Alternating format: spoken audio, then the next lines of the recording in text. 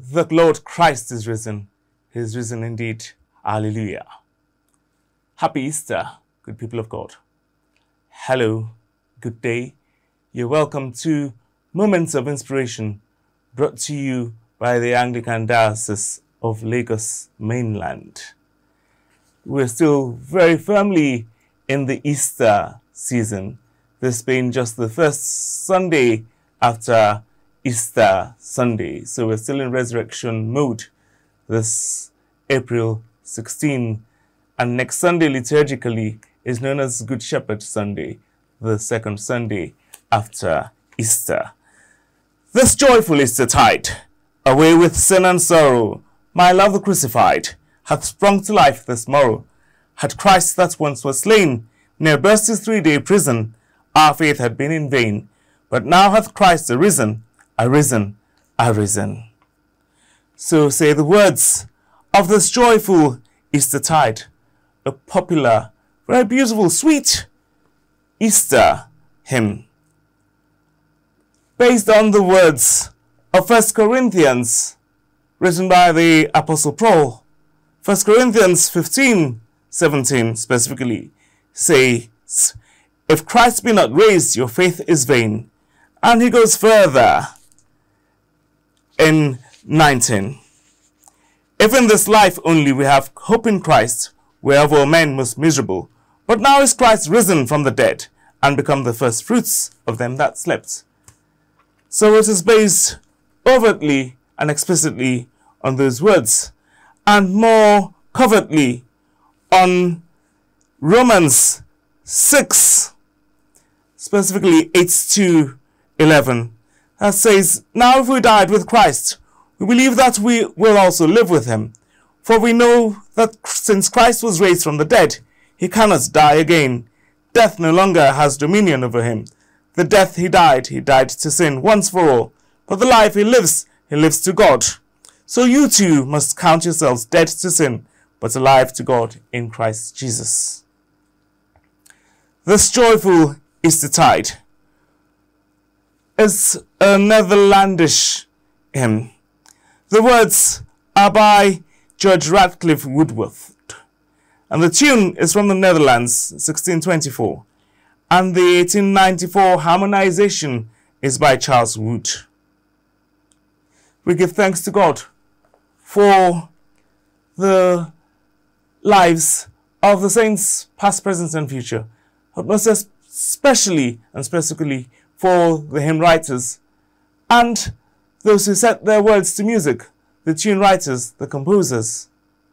As Ecclesiasticus, or the wisdom of Jesus, the son of Sirach, and the Apocrypha says, we thank God for men of renown of old and the labors of our heroes past. And these beautiful hymns, which are paraphrases of Scripture, taken directly from Scripture. This joyful Easter tide goes further to say death's flood hath lost its chill.